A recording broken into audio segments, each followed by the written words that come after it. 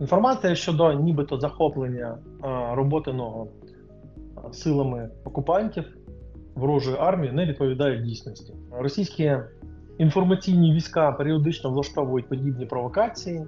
Е, Для цього вони навіть організовують відповідні перформанси в зоні бойових дій.